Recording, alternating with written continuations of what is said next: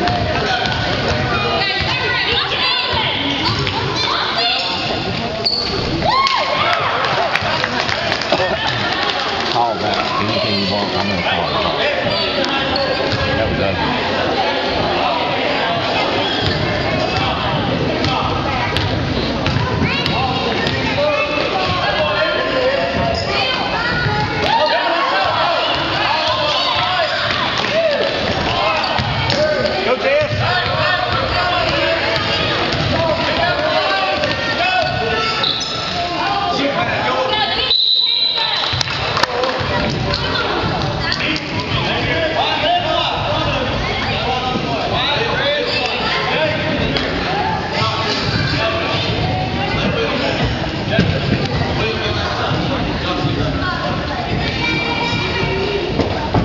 Jack over there, he got tall.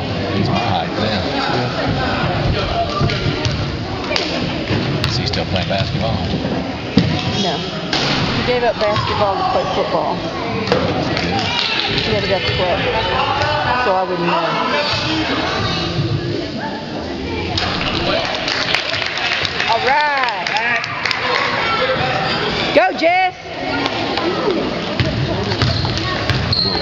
Biggest surprise to me in Saks being Sardis as it was to the Sardis people? It wasn't a surprise to me It wasn't a surprise to me. Big Sardis. Speed differential there, don't you? It wasn't even going to be close.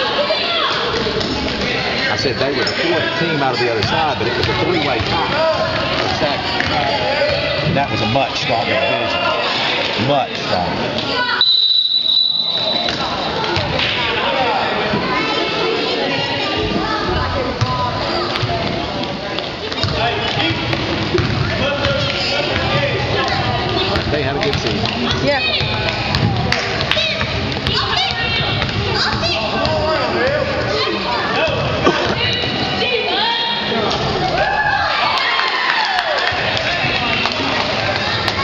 Did Alabama win?